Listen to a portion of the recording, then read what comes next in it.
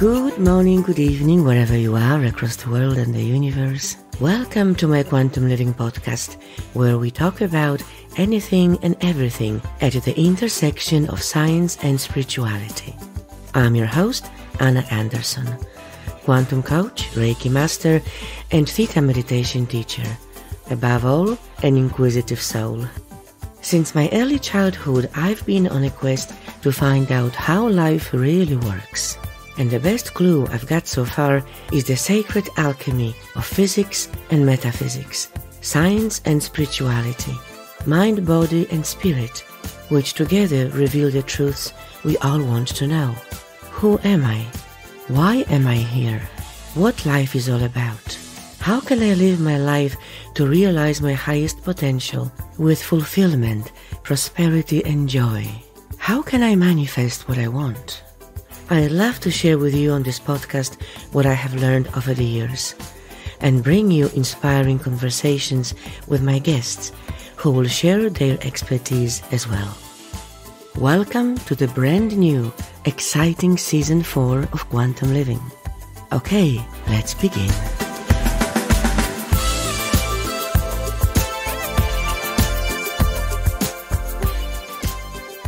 Hello and welcome back to Quantum Living. Today's episode is a little different. Alongside my passion for all things quantum, paranormal, and spiritual, I have always been very interested in health and nutrition as the foundation of our wellness, broadly speaking. Even as a child, I intuitively knew that what we put into our body literally makes up our physical being and influences our mood. And it's not just the nutrients, the macros and micros, but the energy that those foods and non-foods have that matters. So very early in my life, I understood the difference between food and nutrition, which many people still don't quite understand or don't want to. my personal definition of food is anything that we can safely digest, that will satisfy hunger, and give us energy we can use to stay alive. That's it. I suspect that many teenagers live by this definition of food. Nutrition, on the other hand, is food which contributes to our health and well being with various elements or nutrients that our body needs. I was born and grew up in Europe, where herbs and other plants were the foundation of the folk medicine for thousands of years. And to this day, I use certain herbs and natural supplements exclusively for various ailments and health issues without resorting to drugs. So, with this topic being so close to my heart, I have decided to find an expert on health and nutrition and have a chat about all that healthy stuff. and I did find a super expert. My special guest today is Jovanka Ciares. Jovanka is a former entertainment executive turned integrative herbalist, wellness coach, detox specialist, nutrition educator, and author. She is the creator of the Wellness Smackdown, an online wellness and learning community for healthy living, which was featured in the first season of the ABC series My Diet is Better Than Yours. Jovanka is the author of three books Cleanse, the three week ultimate detox challenge, cook, easy recipes for the busy wellness warrior, and the newest book, Reclaiming Wellness, Ancient Wisdom for Your Healthy, Happy, and Beautiful Life, which we will, of course, talk about. Jovanka was featured in People magazine, Entertainment Tonight, NPR, CBS Radio, Telemundo, and the Huffington Post, amongst many other influential platforms, and gave her first TEDx talk on rethinking failure in November 2013.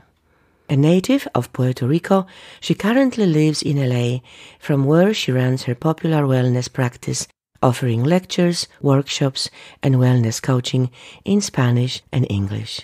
And now Jovanka joins me from LA. Hello, Jovanka. Welcome to Quantum Living. ¿Cómo estás? It's a pleasure to have you on my show. Thank you, Anna. It's such a pleasure. What a beautiful intro. Uh, thank you for having me. Oh, it's such a pleasure. Thank you so much for your time. Based on your work and achievements, you are clearly passionate about wellness and nutrition. And behind every passion, there is always a story. Could you please share with us your story? What has led you onto this path, including the influence of your beautiful multicultural background?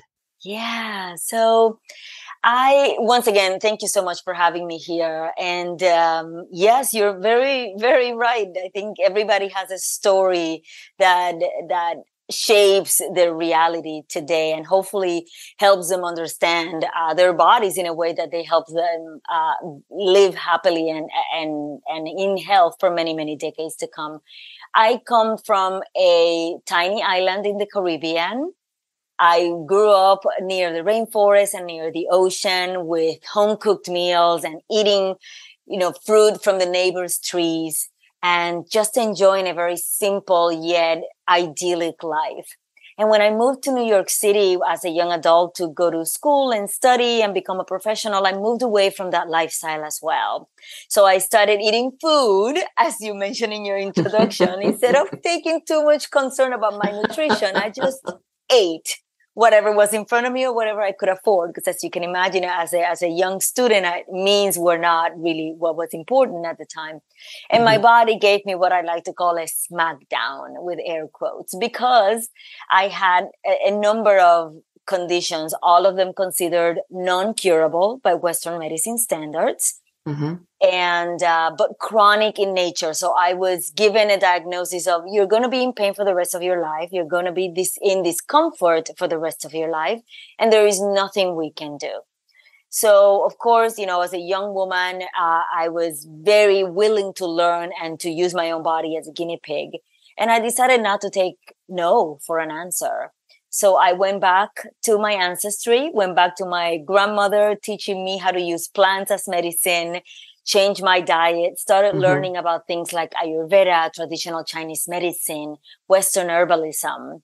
And all in all, I incorporated a lot of these practices into my life and my body started to heal.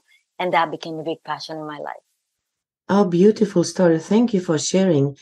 And it's, it is so powerful because it started with your own health issues. And there is, I think, nothing more compelling for us to change something than health issues. When health goes down, then this is a wake up call. Wonderful. Now, I have to ask this right at the start. The name of your online community, Wellness Smackdown, which I really love, but could you could you just explain for our listeners what is the SmackDown part of it? yeah, so um, so that is it's interesting because that is a name that will be changing at the top of the year. Okay, uh, and and we'll be calling it Reclaiming Wellness because i have been working on on the book Reclaiming mm-hmm. Wellness and a lot of other educational initiatives. But the idea behind the SmackDown is that my own body gave me a SmackDown, but to me that SmackDown was a blessing in disguise because I got lucky, right? My SmackDown wasn't a life threatening disease. Yeah. For a lot of others, that SmackDown might be called cancer or it might be called heart disease or Alzheimer's. And, um, and it doesn't mean that you are given a, a death sentence. It means it's just your body trying to talk to you for many years, maybe decades. You're not listening to it. And so now your body's kind of smacking you in the head, telling you, please pay attention. So the idea and, and the goal of this community is to educate people, get them excited and feeling empowered to taking back control over their own healing journey with the use of foods, herbs and obviously a lot of like wellness traditions like meditation and other mindfulness mm, mm. looking at the information on your website about your various courses and, and classes and we will get to that in a moment i have a feeling or i have an impression that the smackdown is your approach like you want to wake people up is it is it right is this your approach yeah, like i to... think it's i mean i don't i'm not i don't i want people to understand that i'm not trying to advocate for violence but it's just a loving wellness down. it's it's mm-hmm. a way yeah. of telling yeah. you i'm here to be the voice of reason right like that little creature in the back of your ear constantly telling you what is it that you're doing today and when you consume what you're consuming today whether it is by what you're feeding your mind or what you're feeding your body. How does your body feel an hour after that that particular meal? Maybe 24 hours after the meal maybe 5 days after the meal.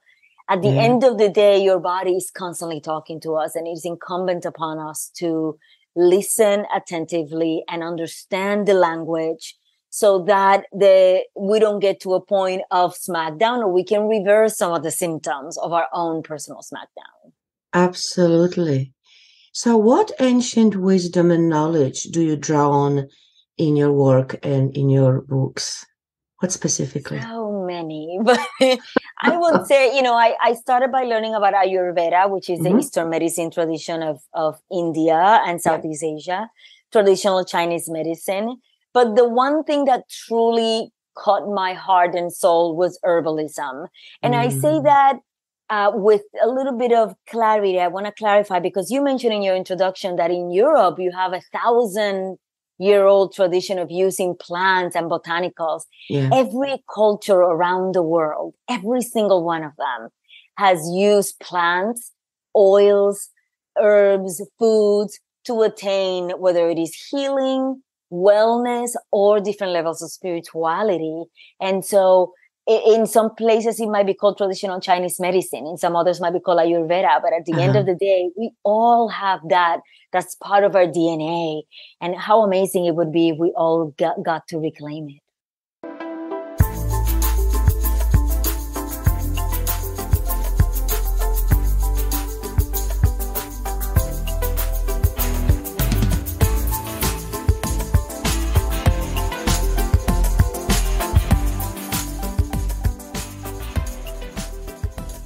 Absolutely. How do you think people in the very early days, say thousands of years ago, at the beginning of, of our uh, civilization, how did people obtain this knowledge that plants, uh, I mean, obviously, in terms of nutrition, that would be an instinct, you know, just like animals eat whatever they need to eat in order to to stay alive so that would be an instinct but uh, we took the knowledge and the usage of plants much further because we have the knowledge and we did have the knowledge back then perhaps growing and increasing knowledge of the specific properties of specific plants plants that can cure plants that can harm that can that have specific properties to assist in different ailments which plants can be taken together and which shouldn't so obviously there was no science that we have now that can break down every pretty much plant and, and down to the molecules and examine everything. So how do you think that knowledge was acquired in the first place? Yeah, this was a combi, and this is a great question, by the way. Thank you for asking this because we all, as herbalists, are always fascinated with that story. But the truth of the matter is that it's a combination of human curiosity and trial and error you know, back in the day, somebody saw a little, a little, and some of the foods is instinctive, right? We know that something is colorful, is bright, is, it has a beautiful scent. So maybe I'm just gonna like put it in my mouth and see what happens. And if I don't die or I don't get very sick, I might jot that down or, or draw a little, a little image and maybe share it with other people that are also curious and then they will share in the knowledge mm. for year after year, decade and century and, and millennia after millennia. We now have this amazing you know body of work that is actually tangible. Like in the case of ayurveda and traditional chinese medicine a lot of it is still around. In other parts of the world unfortunately with colonization and whatnot like some of it has been lost. But a lot of these plants a lot of these botanicals we mm-hmm. have learned to use them by passing that knowledge through stories through you know like eh, what we know today as you know shamans or, or healers, which may have been women in some cultures, men in some others, pass that knowledge to the next generation until we learn how to make them better and how to use them for our own advantage. And what is really amazing is that now with modern medicine, we can go and compare the thousands of years of anecdotal evidence with scientific modern evidence and realize, oh wow, these people they they had yeah. something to this. There's something to their knowledge. Uh, yes. Yeah. Yes, absolutely. Yes, I and I agree with you that obviously that was an evolving knowledge passed on from one generation to to the next. And initially that was, as you said, by trial and error. You know, I'll try this plant or the other, and then, you know, if I survive, I can I can sort of pass on the, the consequences or the effects of that particular plant. So, yes, I agree. But would you also uh, think that perhaps a part of that knowledge came through some spiritual insights passed on by shamans, medicine, men and women, and other people who were connected to the spirit and were receiving this information as an insight? Without a doubt. Without a doubt first it could have been one of two ways, right? It could have been that the plants themselves, once ingested, allow them to connect to that spiritual part of them that is super connected to the beyond. Or it could have been the other way around, right? It could have been that somebody, you know, like in another realm, we are trying to, you know, the, the spirits are trying to pass on knowledge and, you know, find the people that were open to that particular insight, pass them on, and then that person will then pass them on to the rest of us. Yes, absolutely. I remember there was one particular example that, that I can share. It just stuck in my mind. As I mentioned in my intro, I've been always interested in in wellness and health and nutrition. And I've been doing a lot of my own research and, and studies and reading, etc. So I know that, for example, spinach is a particular food which shouldn't be eaten too often because apart from the obvious beneficial nutrients, it also has one particular nutrient, uh, which the name of which just escapes me, but which interferes with uh, calcium absorption. I know this based on the current science. So people shouldn't be eating spinach salad every day, mm-hmm. as far as I, I understand. But what struck me was that when I was little, my grandma was always saying that we mustn't eat spinach too often. So she would like cook spinach maybe a couple of times a month. And I remembered that she was saying this. So how did she know that spinach is one of those foods that you need to be careful with and just eat occasionally, not every day? Again, I assume that that was passed on from her mother and her grandmother you know, across the generations. But even this very practical knowledge about a very common food is so unusual that she actually knew that. You know, one of the things that you reminded me of just now is that back in the day, right, our mothers, grandmothers, maybe a few generations back, we were a lot more in tune with our bodies, with the environment around us. And it was a lot easier to recognize if I had something that made me feel a little gassy or a little constipated or a little headachy, I noticed I may start thinking about what is it that I had. Maybe I try it again to see if the symptoms com- continue to appear. And then you start recognizing, okay, mm-hmm. these might be good, but it doesn't really work as well for me as it might work for others. In today's society, we've moved away from that. We're constantly achy. We uh, constantly feel conversations, because I call them conversations that your body is having with you, but we insist on ignoring them. Every time you get constipated, every time you feel gassy, every time you feel a little sad, sadder than normal, that is something your body is trying to tell you. And it could be food related. It could be whatever you're feeding your mind, certainly um, or your lack of connection with the world around you. But at the end of the day, it's still very much a conversation, and we we need to get back to connecting with our own body. So, how do we do that? How do you teach people to do that? One of the first things I tell my clients is I put them on a uh, little. Um, everybody needs to start writing a little uh, journal. Mm-hmm. So it does. If you're not a writer, don't worry too much about it. All I'm asking you is for the next seven days, you maybe write at the beginning of the day and at the end of the day, how do you feel? You want to do it in relation to what you're feeding your mind, but also what you're feeding your body, right? Like today I feel gassy. Today I feel PMSy. Tomorrow I'm feeling uh, angry. I'm feeling jealousy. Like be honest, be truly, truly honest with yourself.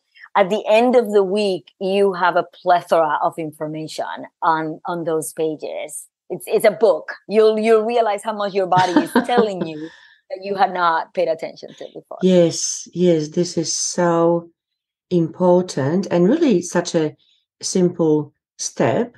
So now, once say uh, someone has recorded uh, faithfully and in detail how they were feeling, and uh, do you also ask them to uh, to keep a journal or a diary of uh, what of the food what they were eating it depends on the case but a lot of people especially women i work with a lot of women that are trying to reclaim the relationship with their bodies and that means eating the right types of foods or finding ways to lose weight or to gain weight yeah. depending on the situation.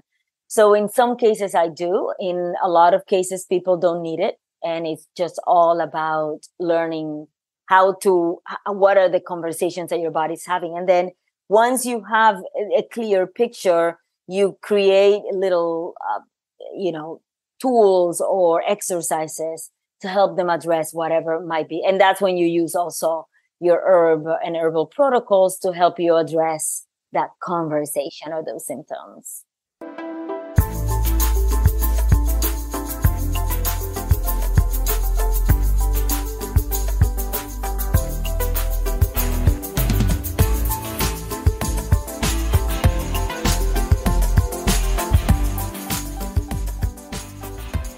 Yes, it is very important. And just very quickly, one other example came to my mind of a, a natural supplement that I use. I mean, I've always used, you know, since I was little, and I always have it at home. There is, you know, to the to this day, activated charcoal. I've been always told by my mother and my grandmother to take it whenever I had, you know, tummy upset and now, because of the scientific uh, analysis of activated charcoal, we know that it absorbs heavy metals, it absorbs poisons. So, this is the first thing that, say, when you go to uh, the emergency room with food poisoning or some poisoning, they will pump activated, liquid activated charcoal to your stomach, you know, as the first uh, sort of measure to, to stop the, the poison. So, so I never take any drugs for upset stomach or any indigestion or any digestive problems. It's just stuck in my mind again, such a simple remedy that is available, but most people don't realize how potent it is and how much healthier and better it is for us than getting a drug. Um, could you just talk to this for a moment? Yeah, you know, it it's so true. I remember my grandmother giving us all kinds of different concoctions every time we felt a particular way. Like the first time I had menstrual cramps, for example, she just went in the bath, came back and came with this green thing and put it right on my belly. And the pain went away 20 mm. minutes later. Um, and so, but to your point, you know, whether it is activated charcoal or, you know, it could be something even simpler like ginger or fennel seeds, you can you can use things that are relatively common and easy for you to sort of wrap your mind around. Because a lot of people will say, well, you know, I've never tried this. It, I don't know what it tastes like. Is it safe? The truth of the matter is that these botanicals are some of the best studied substances yeah. on earth. Not only because they have been used for thousands of years. So there's a lot of anecdotes talking of people using them in all kinds of different forms but now Western medicine have said, wait, so these people in that corner have been using that particular plant for 6,000 yeah. years. Let me yeah. test it and make sure that it's really as safe yeah. as we believe it is. And so we now know that it's not only really popular and powerful, but it's also very, very safe. Yes. And obviously, there is a reason why the plant's kingdom is called the God's pharmacy. Mm-hmm. Because, yes, it not only sustains our uh, life and, and well being and health, but there is a cure for pretty much everything and, and anything. Now, you have a training and expertise in several areas with the overarching theme of mind body wellness that we have touched upon. What about our spiritual dimension to complete the mind body spirit triangle? Do you incorporate it in your work? Oh my God, all the time. That it's impossible not to, right? We are not just a mind and a body, we're also a soul, and it needs nourishment it also goes through stages right of evolution and of of realization of areas of lack of balance as we like to call it in in ayurveda and in in western herbalism we don't like to talk, talk about diseases we talk about imbalances. Yes. Uh, more than anything because we understand that exactly like not everybody is is the same. You might actually be perfectly balanced exactly as you are today. So if you're talking about somebody who was born, for example, without the ability to see, that person's body and, and being finds a way to to keep balance yeah. with the within the life around them right so that what is balanced to them might be different to what it might be to me so spirit is to me one of the the most important if in many ways it could be considered the most important part mm-hmm. a lot of us uh, need to learn to differentiate what we know today as Western religions or our particular set of dogmas and spirituality. And, and I make that distinction because there's a lot of practices that are so beautiful that are considered spiritual pra- practices that a lot of people might shy away from them mm-hmm. because they feel like it might be in antithesis to their religion and nothing could be further from the truth you can uh, you can em- enjoy your religious practice and, and practice your dogma uh, if it makes you uh, better and happier and brings you joy mm-hmm. and also incorporate some other practices that perhaps may allow you to connect a little bit further, a little bit in more significant way with that spiritual part of you. Yes. So we're talking about the difference between religion and spirituality. Mm-hmm. In my mind, spirituality is a much broader concept, as you have just mentioned. Do you incorporate in your programs with clients, do you incorporate or, or recommend, at least, or suggest any particular practices that include a spiritual component. For example, yoga. Is it part of your work? Mm-hmm. Absolutely. It's part of my life uh, uh, and my personal life, but it's also part of my practice as well. I am a Reiki master. So I always, uh, in, in some cases, not, not, not everybody is open to that or might need it. I do a little bit of a Reiki session with them. Um, I love uh, meditation is critical to me. I, I, would not be the human I am today without meditating. um, it's what keeps me grounded. Absolutely. As yeah. somebody with a lot of fire in me, um, I, I, need that kind of grounding. And then I love um, hypnosis as well. I've I've used hypnosis to help me with fears, but also to help me connect uh, with my spiritual with my spiritual self with the people that i absolutely love that are no longer here that are only in spirit right now and i feel mm-hmm.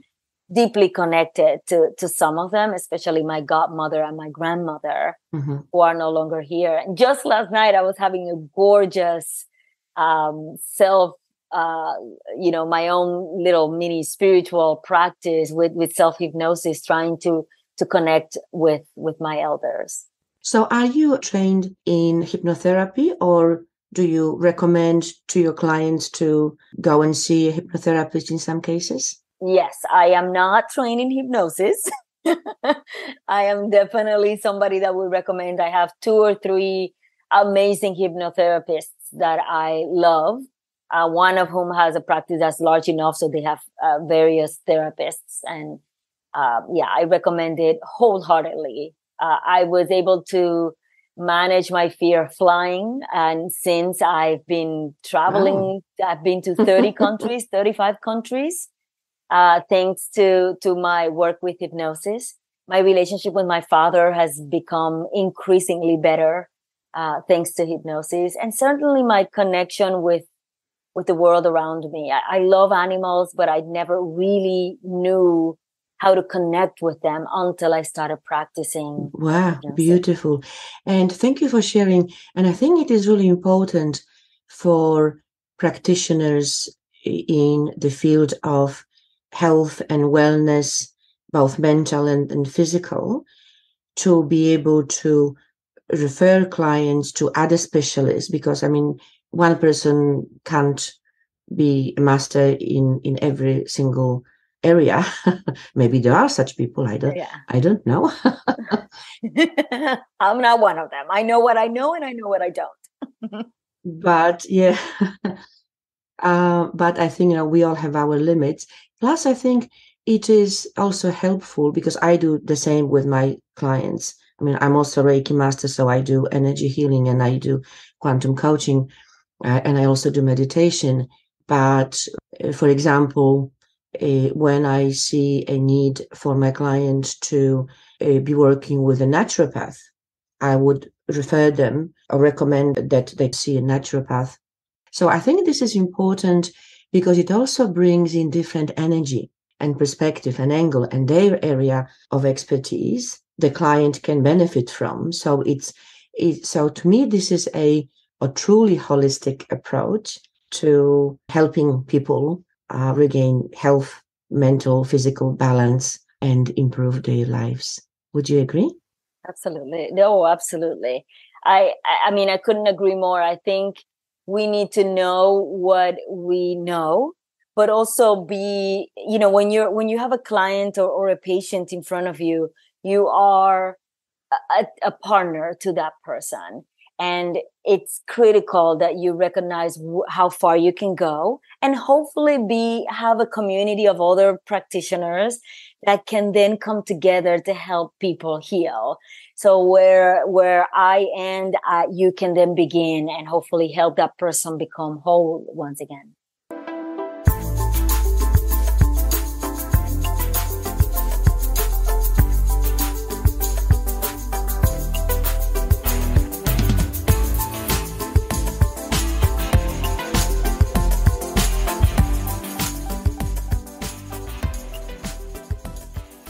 When we talk about herbalism and integrative herbalism in particular, and I'll ask you to to uh, explain the term integrative herbalism, let's talk about the wisdom and energy of the plants. Could you speak to this for a moment? That's such a beautiful term. I love it.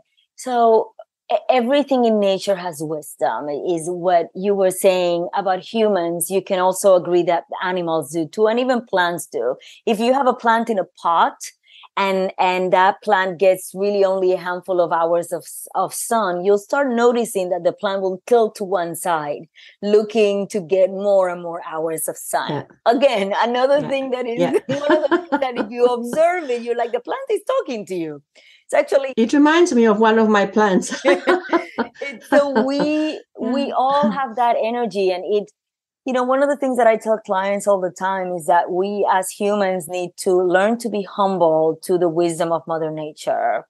Yes. We believe thank you. the perfect yeah. example is people that are dog people and not cat people uh, and it's because it's the easiest way to explain it. It's like when you see somebody that says, I'm not a cat person, I'm like, are you really not a cat person or are you just not understanding the language of a cat?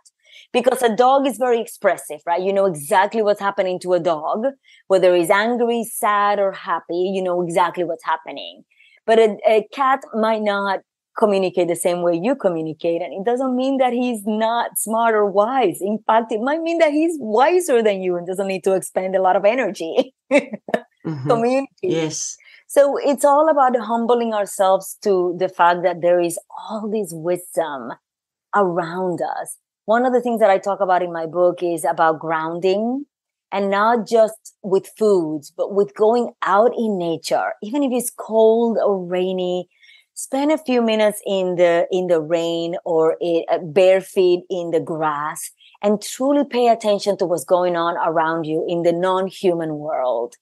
If you do that for about 21 to 28 days which is how long it takes us to build a new habit you will start realizing how much we are missing and how gorgeous and amazing this thing that we call mother nature is. And we will learn to love it and protect it and honor it even more. Mm.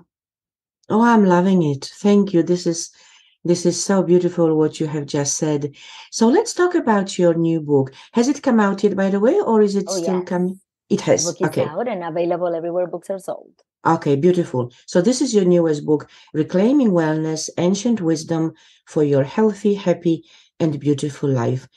Could you give us a synopsis of that book? What are the key messages eh, in it? Yeah. Yeah, the book explores the the really popular wellness practices today and how it comes from cultures from all over the world. So the idea is that it's not just for those people who might have the means or are the trendy young people that go to yoga classes and that kind of stuff. That's great that they've embraced it. But what about the rest of humanity that are struggling with what we know today as diseases of the modern era? And how can we use these wellness practices to reclaim the practices that came from us came from our ancestry, as we said at the beginning, mm-hmm. and with it, reclaim our rightful state of wellness. So I go through seven buckets of categories and it's very very easy to digest mm-hmm. literally because mm-hmm. that is mm-hmm. my motto pun intended pun intended so i like to keep it very simple talk a little mm. bit about the history talk a little bit about the modern application and then show you how you can incorporate it into your daily routine beautiful so for example, what would be your recommended holistic approach to the three most common health issues in the modern times, in my mind, which is weight loss or weight management, let's say, stress, and boosting immunity. Could you just give us few few tips? Mm, yeah, absolutely. So let me start with immunity because it's the one mm-hmm. that mm-hmm. it's a little bit easier for people to wrap their mind around it. Um, we we when we handle immunity in the in the alternative mm-hmm. medicine tradition, we do one of two ways. We prevent, right? Try to avoid what might come. And in the case of people that have, have an illness, is try to strengthen the system so that the system does what it does best, which is fight pathogens and diseases. You do that by reducing inflammation with foods, alkaline foods, water, with management, uh, stress management, sleep, mm. all of the things that we take for granted yeah. that are super simple will help you reduce inflammation. Certainly, an alkaline diet is critical. And then there's a lot of botanicals. Again, I, I'm going to mention botanicals over and over because they're so amazing when we're talking about the immune system, we're talking about vitamin E, vitamin D, which comes from the sun. We're talking about ginger, which is just this amazing little root that helps in many, many, many ways. One of the other things that I absolutely love is not really a botanical. They're called fungi. So, or fungi or, or mushrooms. So I'm talking about um, lion's mane and reishi mushroom and turkey tail, and those that are considered medicinal, or others that might be considered edible in nature. So things like portobello mushrooms and shiitake mushrooms, maitake mushrooms, all of those have an incredible strength and properties to help you strengthen your immunity. They also have the ability to go inside your body and grab what doesn't belong in that in your body similar to that charcoal that we were talking about earlier, and literally push it out and push it out of your body. So when it comes to immunity, that is probably one of my approaches. When it comes to stress management, oh wow. Where do we mean, begin? Where do I begin? I mean, one of the easiest ways to manage stress, believe it or not, is with is again one of those practices that could be really simple but also very powerful because a lot of us are shallow breathers and you have the ability to with control breath to take your body from that fight flight or free state to a parasympathetic nervous state where yes. you can digest food, you can rest, you can yeah. replenish. It's just a wonderful place of being. When it comes to the botanicals, because once again, um, I love my adaptogens. So plants that will help you adapt to stressful circumstances. Lemon balm, ashwagandha, maca powder are three of the very popular ones. Rhodiola, there's probably two dozen out there that will help you tremendously. All of those can be consumed in either food or in tea form. And then the very first thing that you asked me, which was about weight loss or weight management. Weight management. Mm-hmm. That is eh, the trickiest one of them all because weight loss in and of itself is just a basic math equation. Any and all diet out there could eventually help you lose weight. Mm-hmm. It might be, you know, veganism for you. It might be keto for another person. It might be just, you know, something that is very specific in a third person. But at the end of the day, the issues with weight loss is access uh, access, right? it could be access to healthy foods, access to the means to buy healthy foods, or access to the knowledge that will tell you where and how to consume that food.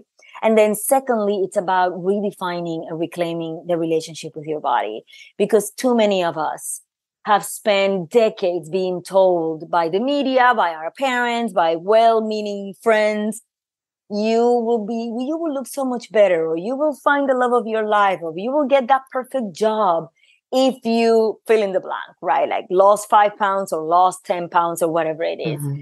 And then after decades of that kind of bad conversation, we have learned that we're not worth it that we're not that that you know we need to be skinnier and slimmer or better or have a smaller nose or a fuller cheek or bigger boobs or smaller butt so it, it, learning that aspect will will take time. Again it takes 21 to 28 days to build a new habit.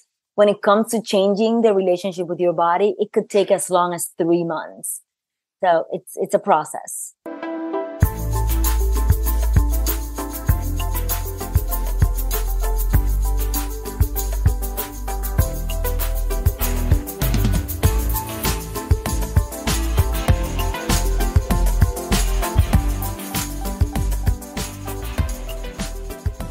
Yes, absolutely. And also, when it comes to weight management in particular, I believe strongly that there are two key parts to it. One is the equation of diet and exercise. So, you know, the intake and also looking how your body is actually processing certain foods. Uh, and then energy expenditure such as exercise. Yeah. But the other one is the emotional aspect because certain people tend to have negative energies or negative experiences, traumas stuck in their body. And the link is that they will often create an additional layers of fat as a protection yeah. when they feel unsafe in their environment. And I feel that the third aspect to have a good relationship with your body that you have addressed to understand your body, to listen to your body, and to communicate, to understand its signals is perhaps the overarching part because it combines the two. Would you agree? Yeah, absolutely. I think it's cre- I you you've mentioned so many beautiful nuggets in there. Um, but I exactly agree. There's, um, you know, as a, as a coach that also works with detoxification, I see that a lot you know you you may have had a trauma and ended up in the hospital and you're back to your daily routine but now you can't get rid of the of the excessive amount of fat. And i tell people all the time fat is a protective mechanism. It's a it's a substance that's there to wrap molecules that might be considered chemicals or tox- toxic in nature and it wraps it as a protective mechanism. So as long as you remain toxic your fat is not going to leave you because it's trying to protect you. And so cleansing, whether it is uh, doing juicing or with just food, with whole foods, could also help. Absolutely. And I think it is important to highlight for our listeners that the protective role of extra fat is not only physiological, but it is also a psychological protection because the physical aspect of the extra amount of fat serves as a psychological protection, unintentionally, obviously, but it does. So people who are introvert, people who are very sensitive, people who are empath, people who have experienced significant traumas, allow their body to build that extra layers of literally physical protection of those extra layers of fat. Mm-hmm. So, for best results, it needs to be addressed holistically from both angles because yeah. if, for example, you simply put someone on a strict diet and exercise regime, yes, they will lose weight. But when they finish, what happens? The weight comes back. Even, yeah, sure. in fact, more than, than they had before. And it's not, in my personal view, it's not the physiological aspect, although it can be if there are still harmful substances in, in the body. But if the psychological aspect hasn't been resolved, the body says, I'm still feeling unsafe. I need to put back all this fat, you know, back on because I'm still unsafe. So that's why, yes, you can lose a lot of weight just on diet and exercise alone. But if you haven't fixed the issue in your head and emotionally and psychologically, the weight will come back.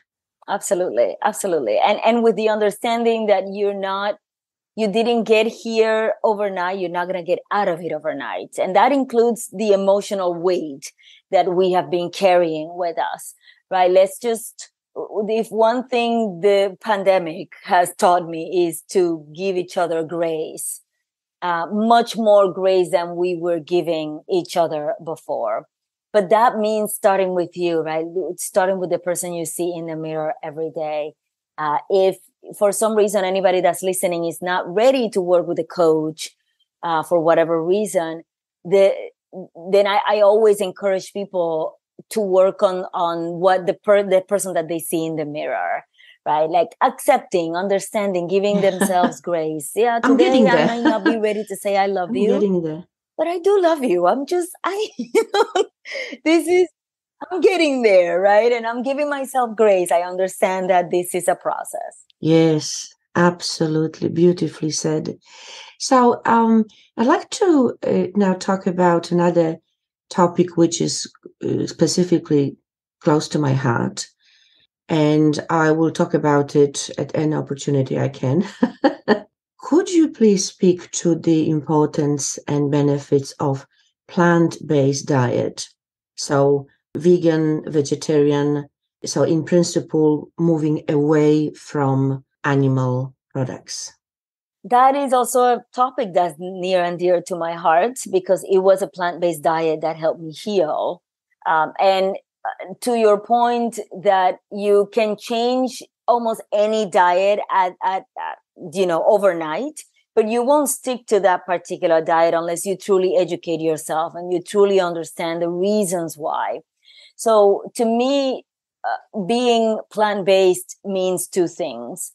Understanding that going back to your argument about uh, that that energy that living energy and that connectivity that we have with the plant with the with mother uh, with with mother nature uh, it's foods that are alive or foods that are considered whole are to me a lot more important than foods that have been you know killed most likely in a way that yeah. was antithetical to nature right like these are animals in, in, in food agriculture today, in, in animal agriculture today, uh, we, we talk about the, the ridiculously large number of animals that are killed cause these animals to live a very short and very miserable life and die a very miserable death.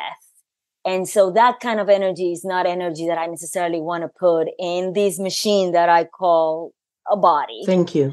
Um, and then there is also the issue that from the purely biological and scientific issue, and this is something I mentioned in the book, we are more hardwired to absorb better nutrients and to utilize them better when they come from the plant world. Uh, T. Colin Campbell, which is the author of, of the uh, China study, one of the largest nutrition studies ever conducted um, on the planet, talks about how there is there is not a single type of nutrient whether it's a macro or micronutrient in the in animal flesh that cannot be found in the plant world. But the most important part for me is that at a purely physiological level animal flesh causes a lot of acidity in the body a lot of inflammation. And that inflammation is directly related to the issues that we suffer from today, the, the diseases that are considered perfectly preventable and are killing most humans today heart disease, cancer, um, respiratory issues, Alzheimer's, neurological conditions. So it makes sense to me to eat more plants than not. I'm also not a proselytizer, so I recognize that for most of us who have lived with with animals, most of eating animals most of our lives, that process will take time. It definitely took me several years to go full plant based. And so I encourage people to first and foremost educate themselves. Pick up a book, pick up a documentary, learn a little bit, maybe start by eliminating one thing that you don't really like that much. Maybe you're not a big fan of, you know, pork. That's okay. Then you just eliminate pork and, you know, keep on going. And then slowly but steadily, as you educate yourself, and incorporate other things because that's the other thing. We don't ever want to be in a situation where you eliminate a lot of foods and then leave a void that will help you will, will leave you feeling helpless and, and hungry for literally hungry physically and emotionally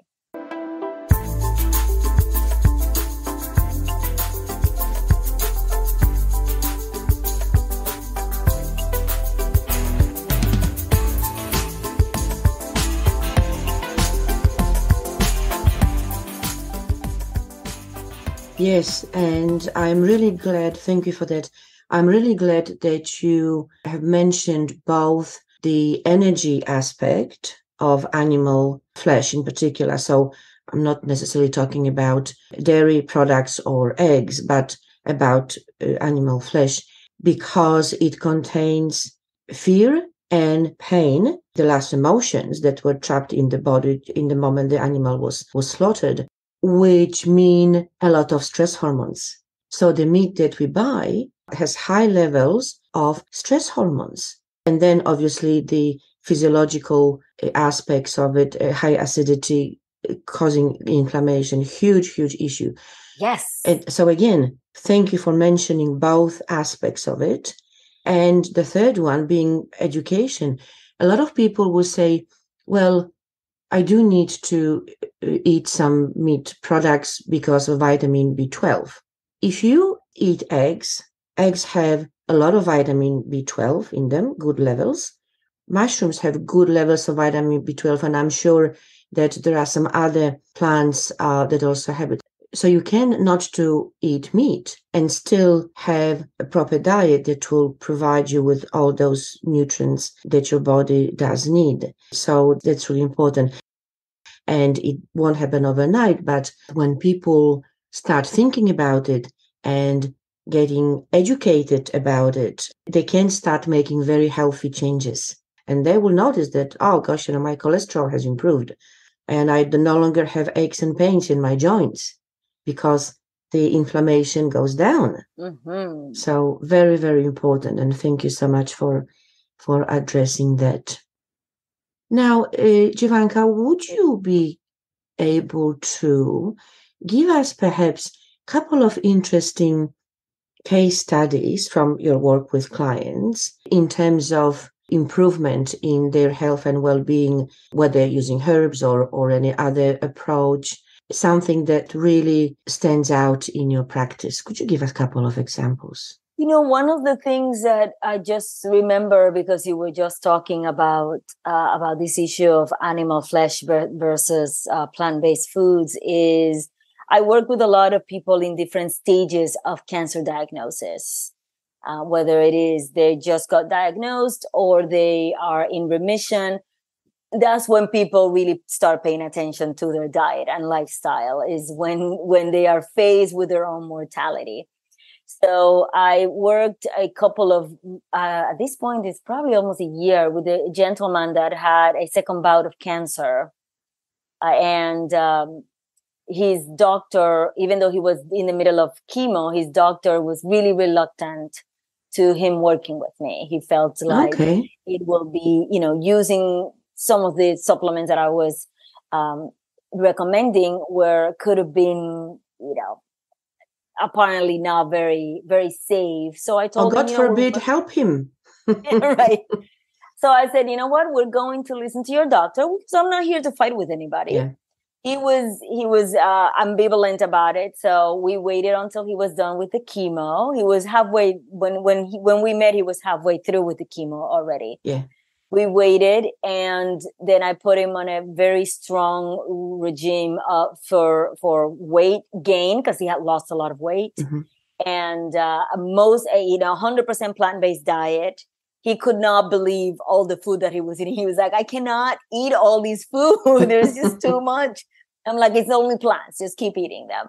Um, so eating the rainbow for people who might, you know, might be listening who are wondering what what kind of diet is this? It doesn't really have to be anything specific. It could be like, how many colors of the rainbow am I putting on my plate mm-hmm. every single day? Yeah. And then in this particular case, going back to the question of mushrooms, these mushrooms are are magical in many ways. So he had a whole entire um, protocol of mushrooms that have studies behind them and a lot of data behind them to help them mm-hmm. not only get rid of the side effects of chemo, but also help them connect at a, at a spiritual level with the part of his body that has been lost to chemo. And he went to his eight week checkup to with the doctor, and the doctor could not believe the human that walked in the door. Wow. He had color in his face again. He had gained like 25 pounds. He had lost almost 40 pounds and I gained about 25 pounds back and it was like standing upright and smiling and his eyes were bright and the doctor was like what are you doing he even asked me if he had just fallen in love and he's like i guess that's what it, i guess i have that kind of shine uh-huh. and um and the doctor called me and told me uh, to thank me uh-huh. and uh, and asked me for some uh you know you information go. some material so i felt like a win i haven't heard from that doctor again but but it's uh, listen if i can convert one human i can go to sleep uh, feeling uh, very happy.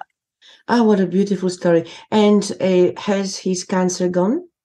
He is still in remission, yes, as of today. Still in remission. Yeah, so he was okay, he beautiful. was considered you'll be considered in remission for five years after after they can find cancer mm-hmm. in your system. Mm-hmm. Oh well. Um, let's hope that with this new lifestyle um, this remission will continue for the rest of his life. Uh, what a beautiful story. Thank you so much for sharing. Okay, Jovanka, could you now tell us more about your online community, your courses, classes, and how people can work with you? Obviously, I will include all the links to your online presence and and to your books in the show notes so people will be able to access them. But could you just talk to your online community and your offerings, please? Yeah. So I have, uh, again, the Wellness Smackdown community, soon to be renamed the mm-hmm. Reclaiming mm-hmm. Wellness community.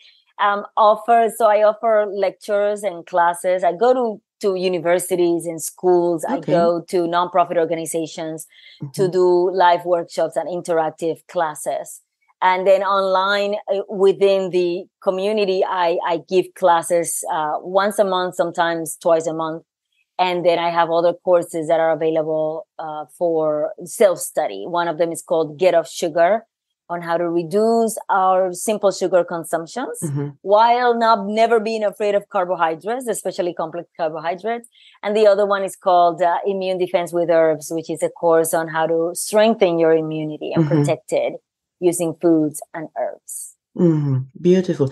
And I believe that uh, that book on how to reduce sugar cravings is a free download. People can just go and yep. download. The oh, ebook oh, is a free download. It's just a it's part of the bigger course, but it's just a great uh, starting point to give uh-huh. you herbs and how to use these herbs. Uh, most of them are the stuff that you can find in the supermarket, with maybe one or two exceptions. Mm-hmm. Beautiful. Okay, so I will also include this link in the show notes. Lovely. Well, we could be talking for another day, probably.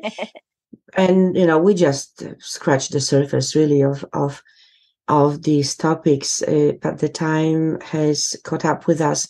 So, what would be your key message, either as a, as your own particular message or as a as a summary of this conversation? What would you like to leave our audience with? I will tell people that um, with everything that you choose to do today or tomorrow for your own health and well-being with the understanding that you have you need time right to get through a particular practice and get to know it and kind of like master it remember that even if it's just for five minutes a day when you pick up that wellness practice you'll be honoring this amazing machine we call a body right but we're also honoring the people that came before us that chances are sacrificed so much for us to be where we are today. And you'll be honoring and passing along amazing knowledge to the people that come after you, whether it is your children, grandchildren, or the community at large. Beautiful. Thank you so much. Well, thank you so much, Jovanka, for your beautiful presence and sharing with us all your wisdom. Well, not all, but a lot of a lot of it, which which we much appreciate. That was lovely. Thank you so much. Well, all the best on your journey, which I'm sure will continue very successfully.